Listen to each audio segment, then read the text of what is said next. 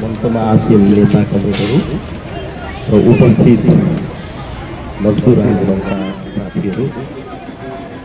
एक सय छैठौँ अन्तर्राष्ट्रिय श्रमिक दिवसको अवसरमा यहाँहरू सबै नेकपा माओवादी केन्द्रको तर्फबाट लाल सलामको शुभकामना व्यक्त गर्न चाहन्छु। सर्वप्रथम मुख्य मागहरू भनेर यो संयुक्त ट्रेड युनियन सङ्घर्ष समितिले सत्रवटा माग जो प्रस्तुत गरेको छ यो माग पुरा गराउने सङ्घर्षको निम्ति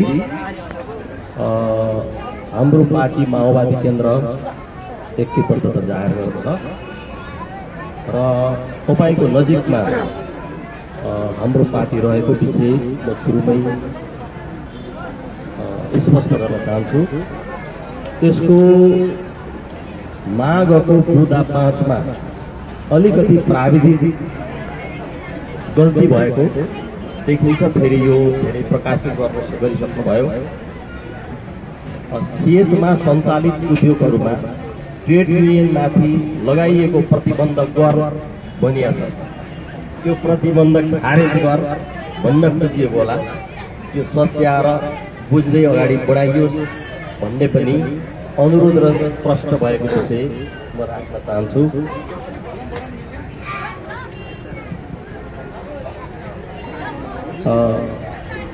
पूर्व वक्ताहरूले बताइसक्नुभयो मैले मात्रै केही दोहोऱ्याउँदा छोटो समयमा म आफ्नो भनाइ अन्त्य गर्नेछु।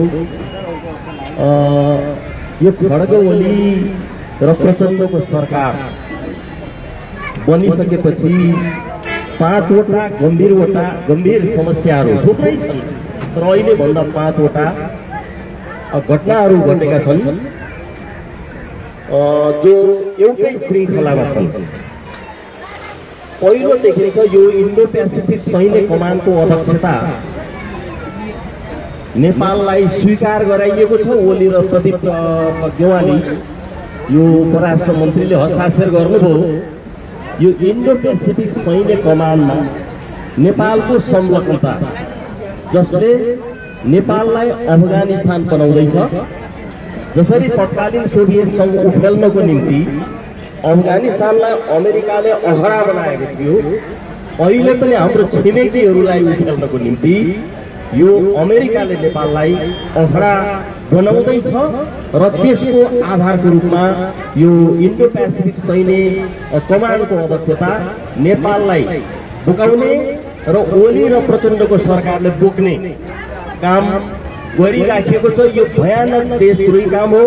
त्यसको चाहिँ खारेजको निम्ति पनि मजदुर आन्दोलनले नेपालको यो राष्ट्रियताको शान्तिको र आफ्नो सार्वभौमताको निम्ति पहल गर्नुपर्छ भन्ने म राख्न चाहन्छु। त्यस्तै यो सिके राउतसँगको सहमति।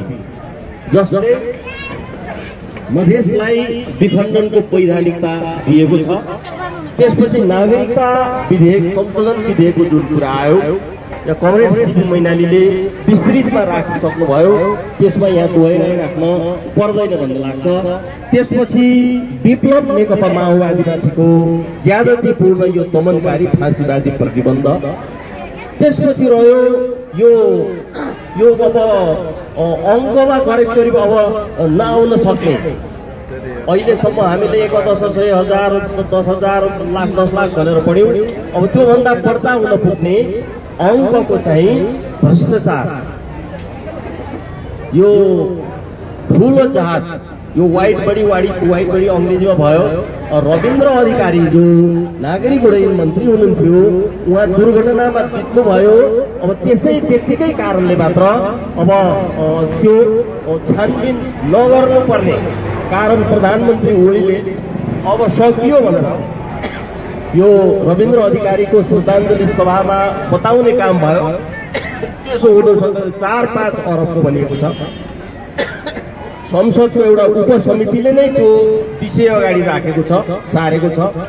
नेपाल टेलिकममा त्यस्तै यो एनसेल भन्नेमा त्यस्तै अरू कता हो कता व्यापक रूपमा र यो भ्रष्टाचार। यी पाँचवटा कामहरू यो सरकार ओली सरकार बनिसकेपछि जसरी हुन पुगेका छन् र यी पाँचवटा कामहरू यसका कर्तुतहरूले यो सरकारका कर्तुतहरूले यो सरकार हाम्रो राष्ट्रियताको सवालमा हाम्रो जनवाद अथवा लोकतन्त्रको सवालमा गणतन्त्रको सवालमा हाम्रो जन नेपाली जनताको जनजीविकाको सवालमा एउटा शत्रु कित्तामा उभिएको छ।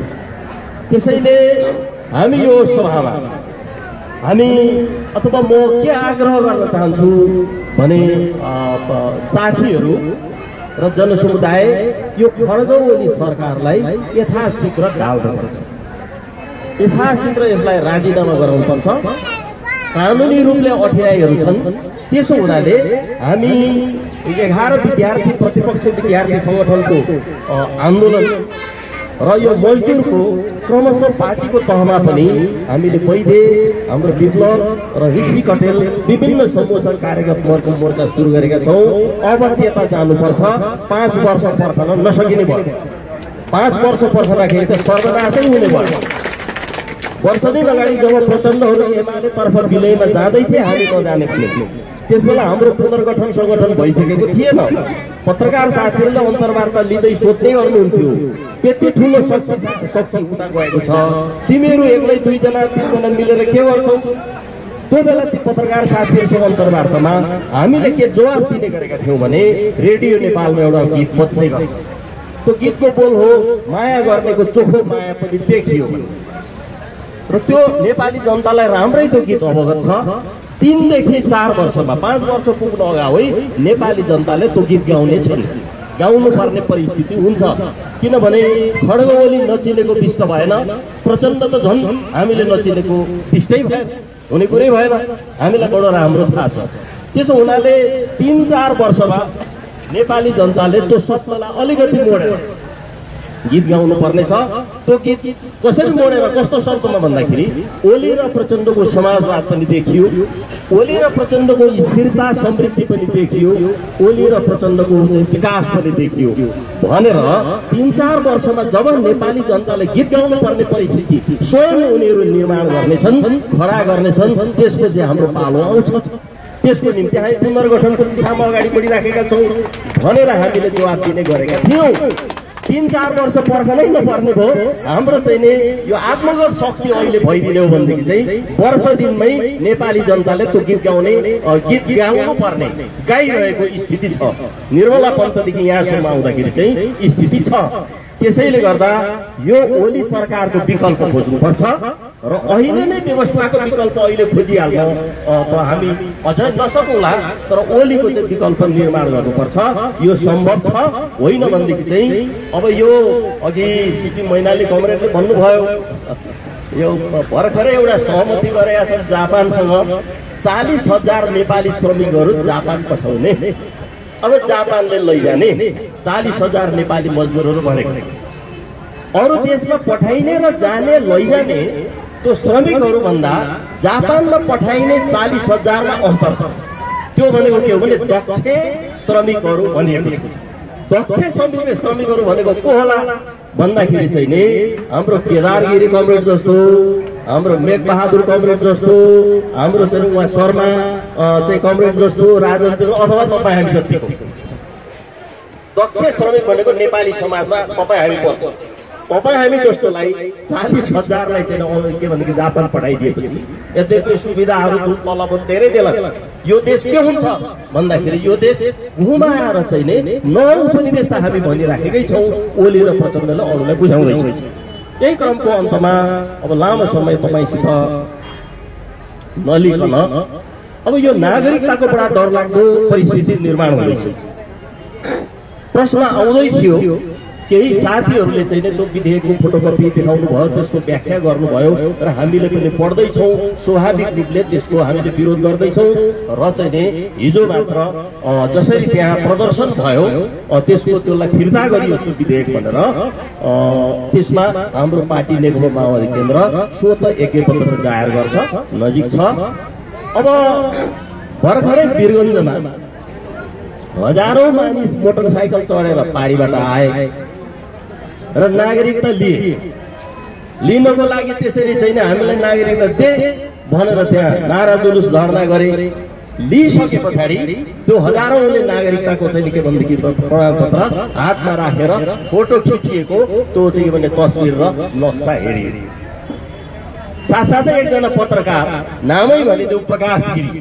टेलिभिजन पत्रकारले केही समय अगाडि मलाई भन्नुभयो म भर्खरै वीरगञ्ज गएँ। वीरगञ्ज गएपछि सिमरौनगढ किताबमा इतिहासमा पढिएको थियो। र हेरेर जाउँ त भनेर म सिमरौनगढ गएँ। र सिमरौनगढ नगरपालिकामा एउटा कार्यक्रम रहेछ। पत्रकार भनेपछि मलाई पनि त्यहाँ बस्न दिए। बस्न दिइसके पछाडि चाहिँ नि मलाई पनि केही मन्तव्य गर्न दिए। मन्तव्य गरेपछि मैले फर्स्ट नेपालीमा बोलेँ। बोल्दाखेरि यहाँ उप मेयर हुनुहुन्छ। तपाईँले चाहिँ हिन्दीमा बोलिदिनु पर्यो। उप मेयरले चाहिँ नेपाली बुझ्नुहुन्न। भनेर एकजना युवा आएर भने त्यसो भनेपछि मलाई चल्यो। मैले आफ्नो मन्तव्य सकेँ। हिन्दीमा बोलिनँ। पछि चाहिँ नि उपमेयरले उपमेयरले चाहिँ नि नेपाली नबुझ्ने हिन्दीमा मैले बोलिदिनु पर्ने कारण के रहेछ त भन्दाखेरि चाहिँ स्थानीय चुनाव हुनुभन्दा चार महिना पहिला भारतीय महिलाको यहाँको त्यहाँको चाहिँ पुरुषसँग विवाह भएछ।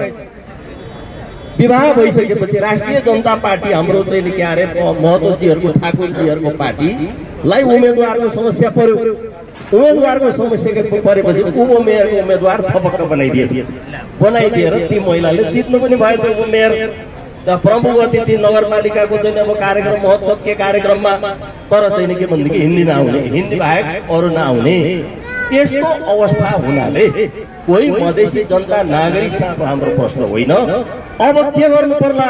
मजदुर साथीहरू अरू नेता कमरेडहरू भन्दाखेरि चाहिँ माधव घिमिरेले गीत हिजै लेख्नुभयो। हामीले सानोमा विद्यार्थी हुँदा गायौँ अहिले स्कुलमा गाउँछन् कि गाउँदैन त्यहाँ मैले पुग्न देख्न पाएको छैन। के भनेदेखि चाहिँ पश्चिममा किल्ला काङ्गडा पूर्वमा तिस्टा पुगेको थियो। इतिहास उहाँले त लेख्नुभयो। नेपालको तिनै करोड भारतमा गए पनि त्यति असर पर्दैन। भारतको एक दुई करोड नेपाल भने यो त चाहिँ फिजी भइहाल्छ। त्यसलाई असमान भन्दै आइयो। अर्को हात हतियारहरू तेस्रो मुलुकबाट खरिद गर्नुपर्दा भारतको परामर्श लिनुपर्ने आदि व्यवस्था गरिएको छ जसले यो देशको सार्वभौमिकतालाई कुण्ठित गर्न खोजेको छ। यसलाई हामीले असमान भन्दै आयौँ। तर धारा आठमा के छ भने साथीहरू नेपाल सरकार र भारत सरकार अर्थात् नेपाल सरकार र तत्कालीन ब्रिटिस भारत सरकार बीच भएका यसअघिका सबै सन्धि सम्झौताहरू करारनामाहरू आजको मितिदेखि खारज गरिन्छ। त्यसो हुनाले त्यो धारा आठ अनुसार त सुगौली सन्धि खारेज भयो।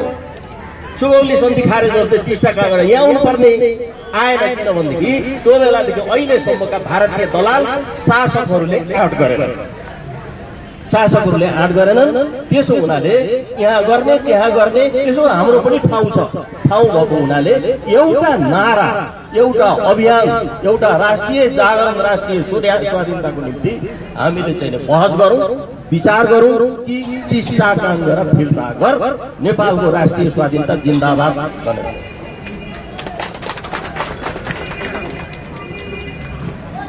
धन्यवाद।